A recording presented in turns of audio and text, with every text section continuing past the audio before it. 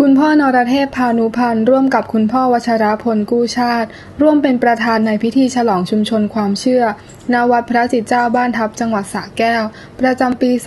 2014 เมื่อวันที่ 24 พฤษภาคมที่ผ่านมา และในโอกาสเดียวกันนี้ ยังมีพิธีรับสินมหาสนิทครั้งแรกของเด็กๆในชุมชนจำนวน 9 คน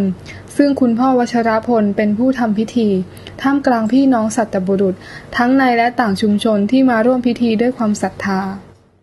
วัดพระจิตรเจ้านะครับ เป็นวัดชื่อเดียวนะครับ นามเดียวที่มีในสังฆมณฑลจันทบุรีนะครับ แล้วผมก็ตั้งใจที่จะมาวัดนี้จริง ๆนะครับ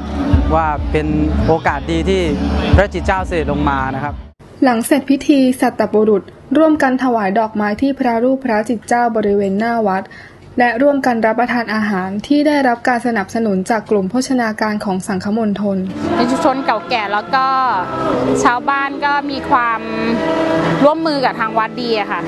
มาเวลาเห็นมีกิจกรรมอะไร เวลาเขามีประชุมสัมมนาอะไรกันก็ประสานงานง่ายค่ะ